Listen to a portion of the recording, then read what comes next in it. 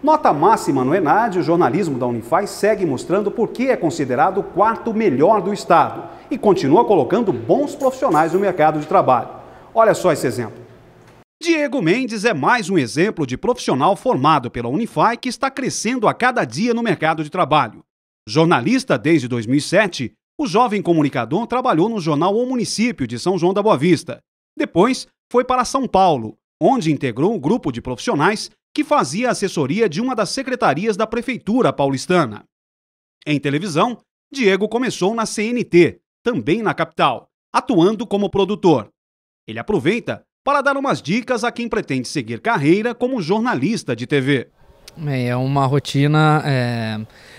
Você acha que não vai ter uma rotina, mas é todo dia. Você acorda cedo, tem que ler jornal, tem que saber tudo que acontece para chegar na redação, chegar na TV e ter e saber de tudo para você vender uma pauta, para você vender uma matéria, para começar a produzir, para começar o repórter fazer. Então, assim, é, é bem desgastante. Você tem que viver 24 horas plugado na notícia, saber o que está acontecendo no Brasil e no mundo, porque qualquer coisinha que acontece no Chile vai poder ser matéria aqui no Brasil. Então tem que estar tá ligado em tudo que acontece para tentar desenvolver alguma coisa é, para a TV, né? No caso específico de telejornalismo, o profissional lembra que, para a televisão, a produção da notícia tem características bem específicas. A TV depende muito de imagem, depende muito uh, da, do entrevistado, das pessoas que compõem a matéria. É, da, da, passagem do repórter, do, do, talento do repórter. Então você tem que prestar atenção tudo, não só na notícia. Lógico que a notícia é o principal, mas você tem que saber se o que você vai fazer é bonito, se vai ser bonito para a pessoa ver, se vai estar tá bacana para passar na televisão. Depois de um trabalho rápido no SBT, também como produtor, Diego foi parar na Record São Paulo, onde é um dos integrantes da produção do telejornal SP no Ar e do Fala Brasil.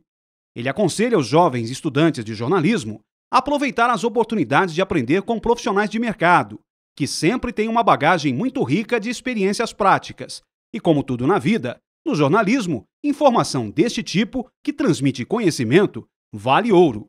Esperto é quem está atento a isso, não é, Diego? Tudo quanto é curso que aparecer, é legal porque esses cursos tem muita gente que vem de televisão para dar esse curso. Eu já fiz curso com, com apresentadora da Globo, de esporte, já fiz curso com, com o diretor da, da Gazeta. Então, esse pessoal que vai te dar mais experiência, que é também às vezes que cabe no teu bolso, é legal você ir fazendo isso aí. Quanto ao espaço aberto para que profissionais de outras áreas escrevam artigos, por exemplo, Diego acredita que esta democratização da informação é importante, mas que o jornalista precisa ir além de simplesmente escrever a sua opinião sobre algo.